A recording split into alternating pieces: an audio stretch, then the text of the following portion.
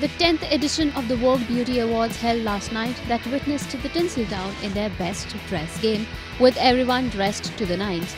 First, let's check out some Bollywood beauties.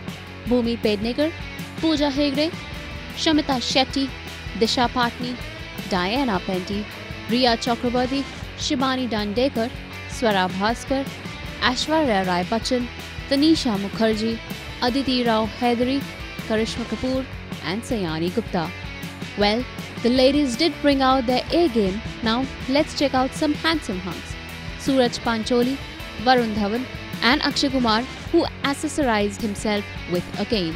Sunny Leone with husband Daniel Webber and Shahid Kapoor with wife Meera Rajput made the event a couple's affair as both made adorable entrance with their respective partners. Senior Bachchan decided to make an entrance with his family, wife Jaya Bachchan, daughter Shweta Bachchan Nanda, and granddaughter Navya Naveli Nanda, but Abhishek was missing from the event. So make your choices who was the best and the worst dressed for the occasion. IANS report.